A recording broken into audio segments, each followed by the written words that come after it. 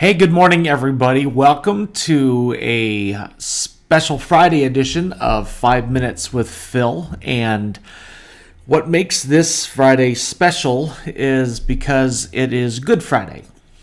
And it is a day that is very, very important in the church. And uh, for those of us who call ourselves followers of Jesus Christ, this is pretty huge. This is the day that uh, is is uh, known for Jesus going to the cross.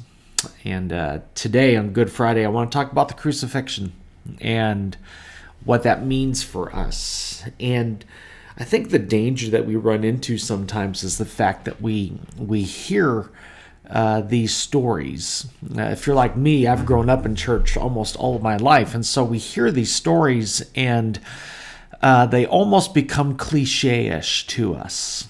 And I, I think that's a danger that we run into if we're not careful because we don't want, um, especially this story, we, we, we don't want the story of Jesus' crucifixion to become uh, almost a fairy tale. Um, we, we, we still want this to really penetrate our hearts into really uh, really touch our soul. And uh, the scripture I want to take you to today is uh, is actually a prophecy that was foretold of the crucifixion of Jesus, and it's in the book of Isaiah.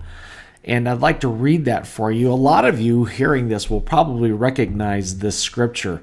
But whether you've heard it before or you've heard it hundreds of times, I want this to be really fresh to you here today on this Good Friday. Take a look at this scripture. It says, Surely he took up our pain and he bore our suffering.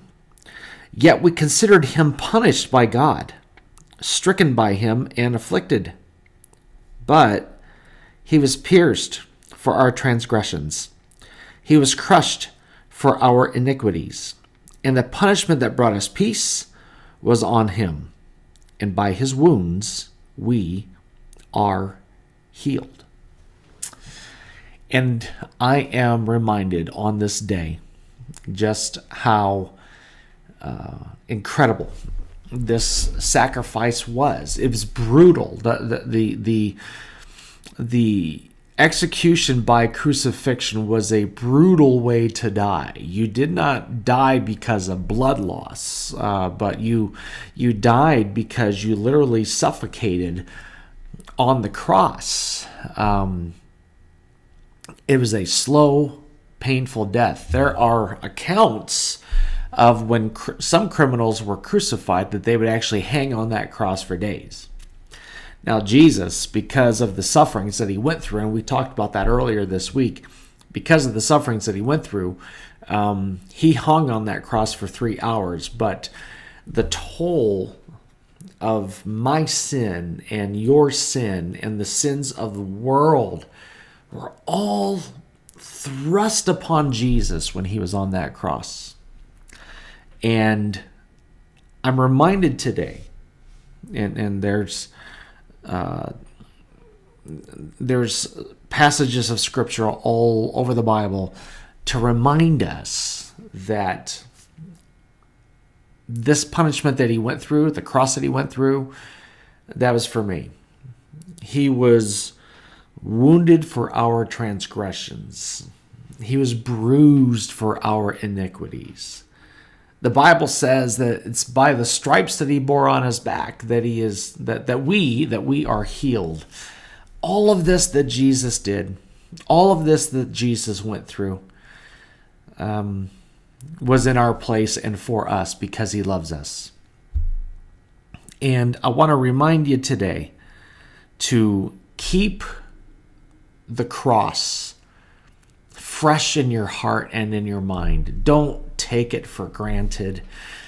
Don't uh, don't just chalk it up as another Bible story like Noah's Ark. Or and again, I'm not saying that those are bad stories, but but the significance of the cross. Don't don't lose the significance of the cross. In fact, today, would you find yourself just thanking Jesus? that he went to the cross for you. I think that'd be an appropriate response today on this Good Friday. Okay, well, thanks for joining me.